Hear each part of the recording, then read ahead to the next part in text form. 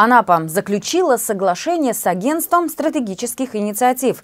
Исторический документ подписали в Москве мэр города-курорта Василий Швец и генеральный директор агентства. Мэр Анапы подчеркнул, что ряд проектов агентства стратегических инициатив пересекается с ключевыми направлениями, которые реализует команда администрации. Поэтому будет эффективно и взаимовыгодно наладить сотрудничество в области развития экотуризма, креативных индустрий, улучшения городской среды, реализации проекта «Умный город» город и других. Среди направлений сотрудничества – улучшение инвестиционного и предпринимательского климата в Анапе, содействие реализации социальных проектов и не только, а также в области развития системы детского отдыха и оздоровления, содействие в реализации проектов в сфере туризма и многое другое.